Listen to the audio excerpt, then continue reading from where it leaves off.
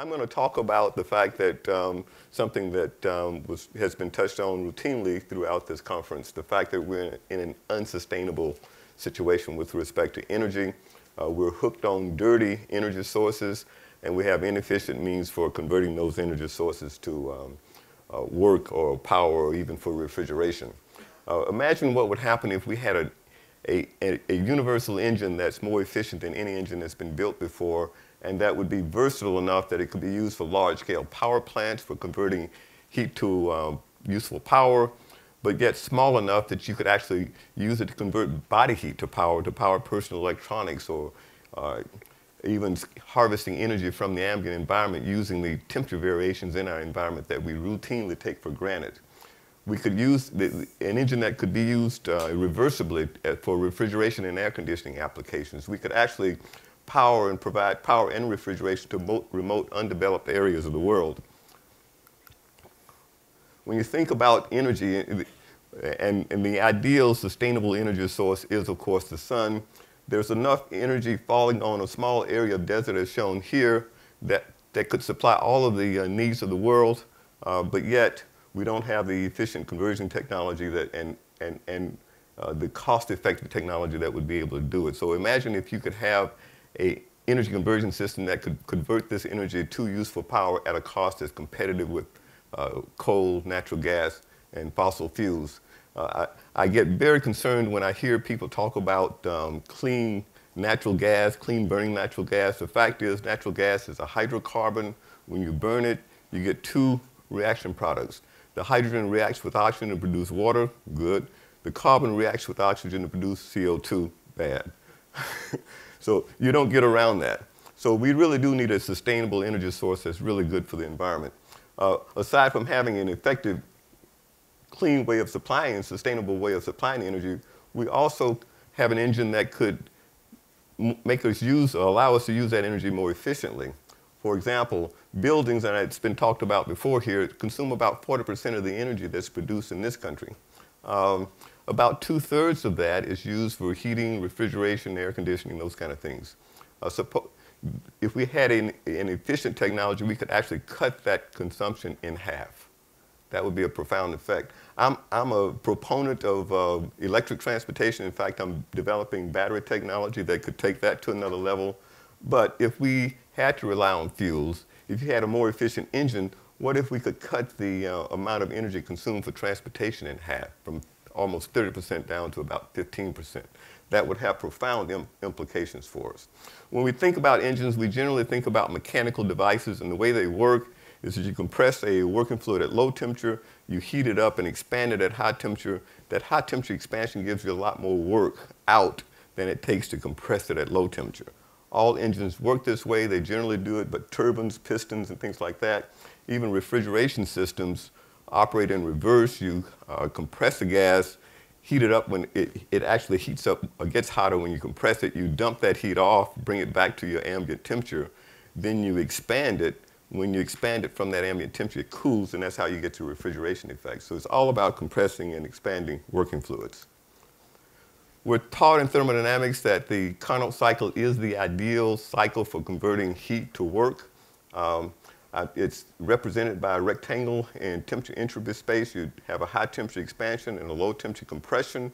Um, this is an ideal curve for a Carnot cycle. What's, in, what's significant about it is that if you look at it, um, internal combustion engines burn gas that are way, at temperatures that are way off the scale here, up around 2,000 degrees centigrade and higher yet the efficiency that you get here from an internal combustion engine is only about 30%. You could get that with a Carnot engine with the heat source about uh, ideal Carnot engine at, on a heat source for about 200 degrees centigrade.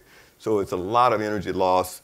Uh, uh the engines that we presently use are very inefficient. So the JTEC um, is basically an engine that operates the same way. Um, we have a membrane electrode assembly stack, not too different from what you would find in a fuel cell. It's a proton conductive membrane with a couple electrodes on either side. By applying power to this membrane, you're able to drive hydrogen from low pressure to high pressure. Um, that hydrogen goes through a heat exchanger to the high temperature section of the engine where you have another stack that's at high temperature. and you allow the hydrogen to expand from high pressure, high temperature to low pressure, high temperature. Here's the high temperature expansion where you get a lot more energy out. That energy comes out directly as electricity. You have enough that you can supply some back to the low temperature stack and keep the compression process going so you have a continuous supply of high pressure hydrogen to the uh, high temperature section of the engine. Not too different from what you find in con any conventional engine. For example, I've got a jet engine here. I've talked about internal combustion or, or using pistons for this process. But here you have a jet engine. Uh, you're pulling air in at ambient temperature. You have a turbine that's compressing it to high pressure. You supply the fuel, you burn the fuel, you heat that gas up. Now it's expanding at high temperature from high pressure uh, to, to low pressure. Uh, as it expands across the, the exit turbine here, some of that work is energy is extracted and coupled back to the front of the jet engine to keep the comp supply compressed air coming in so this is a self-sustaining process.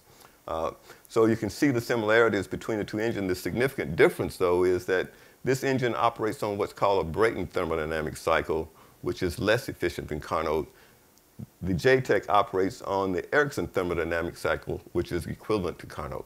So we have potential for really achieving uh, very high efficiency.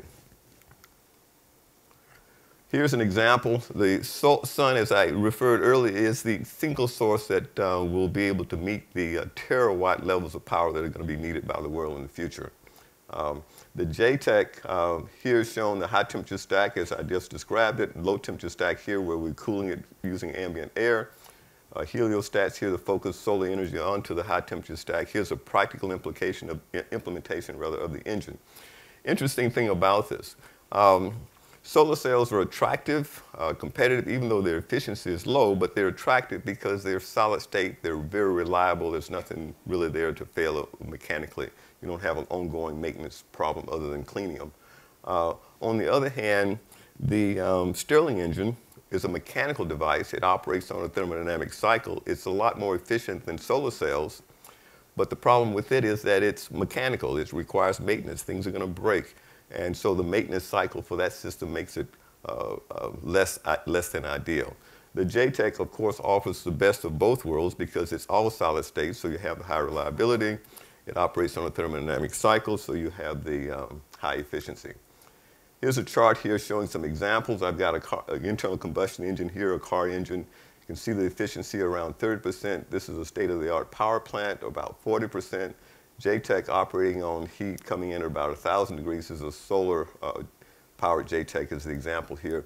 But our, our model suggests that we can achieve about 85% um, of Carnot uh, in terms of our conversion efficiency because in the real world you will have losses.